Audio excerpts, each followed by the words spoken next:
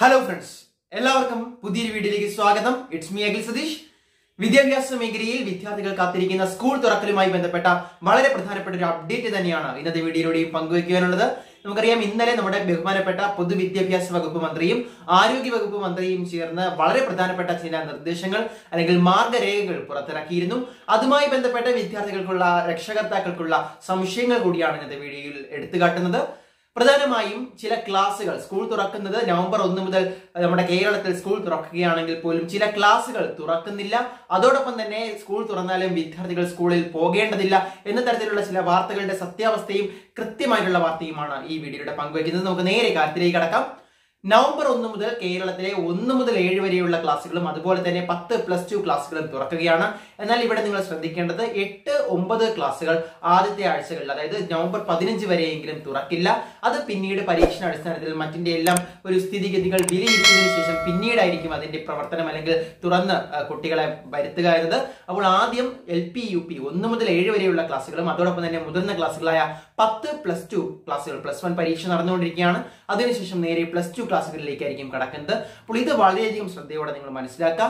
എട്ട് ഒമ്പത് ക്ലാസ്സുകൾ നിലവിലില്ല. എന്നാൽ പിന്നീട് അത് പ്രവർത്തിക്കും. നവംബർ ഒരു പകുതിയോടുകൂടി തന്നെ അതിന്റെയും പ്രവർത്തനം കൊണ്ടുപോകാൻ കഴിയുമെന്ന് തന്നെയാണ് പൊതുവിദ്യാഭ്യാസ വകുപ്പ് മുന്നോട്ട് വച്ചിരിക്കുന്നത്.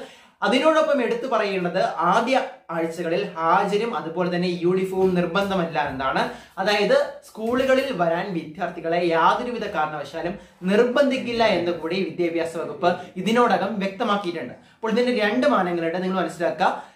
വിദ്യാർത്ഥികളെ ഒരിക്കലും സ്കൂളുകളിൽ വരാൻ നിർബന്ധിക്കില്ല. അതായത് ഹാജർ നിർബന്ധമല്ല എന്നതിന്റെ മറ്റൊരു വശം തന്നെയാണ് ഈ ഇത്തരത്തിൽ താല്പര്യമില്ലാത്ത അല്ലെങ്കിൽ ആശങ്കപ്പെട്ടിരിക്കുന്ന രക്ഷകർത്താക്കൾക്ക് മതിയായ തരത്തിലുള്ള ബോധവൽക്കരണവും മറ്റു കാര്യങ്ങളും മാർഗനിർദ്ദേശങ്ങളും നൽകുവാൻ സ്കൂളുകളിലെ പി ടി എ തന്നെ മുൻകൈ എടുക്കണമെന്ന് ഇതിനോടകം തന്നെ പറഞ്ഞതാണ്. അങ്ങനെയെങ്കിൽ പോലും വിദ്യാർത്ഥികളുടെ താല്പര്യവും കൂടി പരിഗണിച്ചാണ് ആദ്യഘട്ടത്തിൽ പ്രത്യേകിച്ച് പറയാം ആദ്യഘട്ടത്തിൽ അതായത് ആദ്യ ആഴ്ചകളിൽ ഹാജർ നിർബന്ധമല്ല എന്ന് പറഞ്ഞു. ഈ ഒരു ഘട്ടത്തിൽ എന്തായാലും വിദ്യാർത്ഥികളെ സ്കൂളുകളിൽ വരാൻ നിർബന്ധിക്കില്ല എന്നുകൂടി പറഞ്ഞിട്ടുണ്ട്.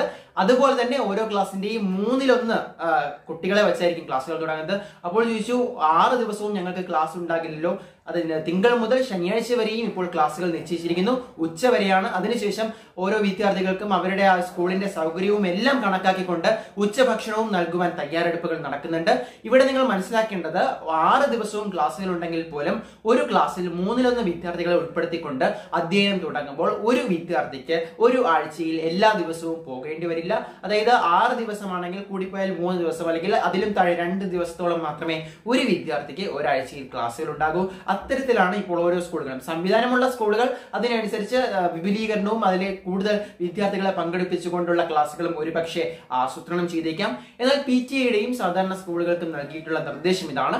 അതോടൊപ്പം തന്നെ നേരത്തെ പറഞ്ഞതുപോലെ വിദ്യാർത്ഥികൾക്ക് മതിയായിട്ടുള്ള കോവിഡ് പ്രോട്ടോകോൾ പാലിച്ചുകൊണ്ടായിരിക്കണം ഓരോ ക്ലാസ്സുകളും. മതിയായ ശുചീകരണ പ്രവർത്തനങ്ങളും ടെമ്പറേച്ചർ ചെക്കിങ്ങും ഓരോ സ്കൂളിലും ഇതിന് ഒരു പ്രത്യേക അധ്യാപകർ തന്നെ ഇതിന്റെ ഒരു ചാർജിൽ വേണമെന്നൊക്കെയുള്ള നിരവധി നിർദ്ദേശങ്ങളും. അതോടൊപ്പം അധ്യാപകർ വാക്സിനേഷൻ കംപ്ലീറ്റ് ആക്കിക്കൊണ്ടിരിക്കുകയാണ് അതിന്റെ പ്രവർത്തനങ്ങൾ മുന്നോട്ട് പോകണമെന്നും ഇന്നലെ പത്രസമ്മേളനത്തിൽ അടക്കം പറഞ്ഞിരുന്നു. മറ്റ് സംസ്ഥാനങ്ങൾ ഇരുപത്തിമൂന്നോളം സംസ്ഥാനങ്ങൾ നമ്മുടെ ഇന്ത്യയിൽ ഇതിനോടകം തന്നെ സ്കൂളുകൾ തുറന്ന് പ്രവർത്തിച്ചുകൊണ്ടിരിക്കുകയാണ്. അതുകൊണ്ട് തന്നെ നവംബർ ഒന്ന് മുതൽ സ്കൂളുകൾ തുറക്കുന്നതിൽ യാതൊരുവിധ കാരണവശാലും കേരളത്തിലെ രക്ഷകർത്താക്കളും വിദ്യാർത്ഥികളും ആശങ്കപ്പെടേണ്ട സാഹചര്യം നിലവിലില്ല എന്ന് കൂടി നമ്മുടെ വിദ്യാഭ്യാസ മന്ത്രി കൂട്ടിച്ചേർത്തിട്ടുണ്ട്. എന്നാലും കൂടുതൽ അപ്ഡേറ്റുകൾക്കായി നമുക്ക് കാത്തിരിക്കാൻ തൽക്കാലം നടന്നു മറ്റൊരു ഇൻഫർമേറ്റീവ് വീഡിയോ ആയിട്ട് കാണാം. It's me Akhil Satheesh Tata